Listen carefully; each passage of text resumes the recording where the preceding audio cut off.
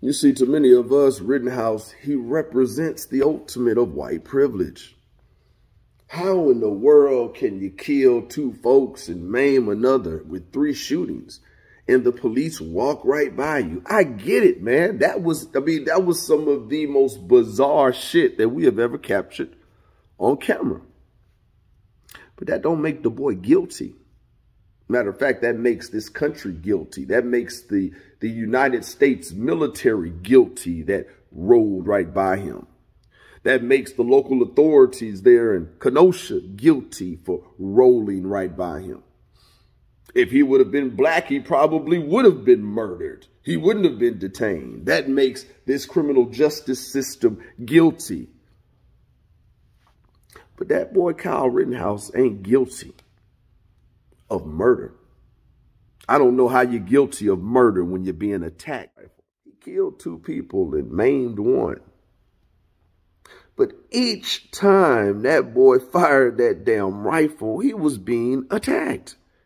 I mean, I don't understand why we miss that. Or maybe as black folk, I mean, we just want condemnation on anything opposite of us at times because of how we keep getting butt screwed from the criminal justice system. I get that part.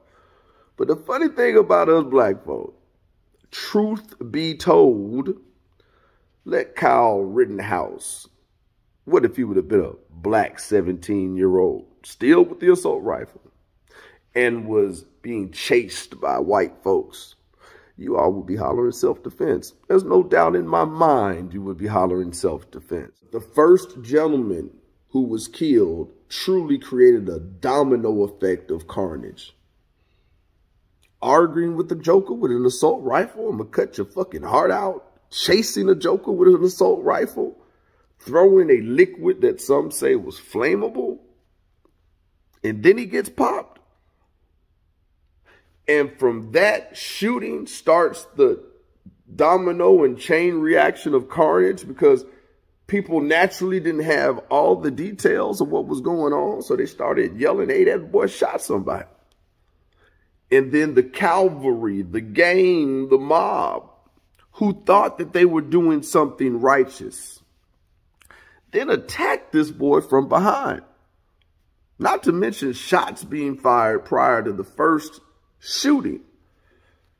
I just don't see this the same way you guys do. And I know what stirs our soul is when Rittenhouse throws his hands up and walks toward members of the military, members of police, and he just walks right on by. Now, that is the most disturbing part. But you know something about that? Rittenhouse did exactly what he was supposed to do after being involved in that type of shooting. He literally was trying to surrender. Now, his white privilege kicked in at that point because, again, the authorities just whisked right on by. That's the upsetting part. That's why we want Rittenhouse condemned.